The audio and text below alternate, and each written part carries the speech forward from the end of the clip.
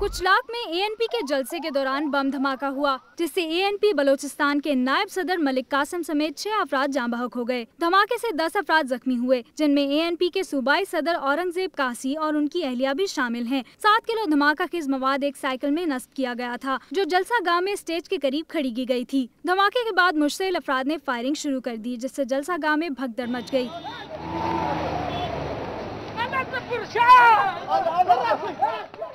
दहशत गर्दी के वाक़े के खिलाफ एएनपी के कारकुनों ने जिना रोड पर एहतजाज किया और टायरों को आग लगाकर सड़क ब्लॉक कर दी पुलिस ने इलाके को घेरे में लेकर तहकीकात शुरू कर दी हैं।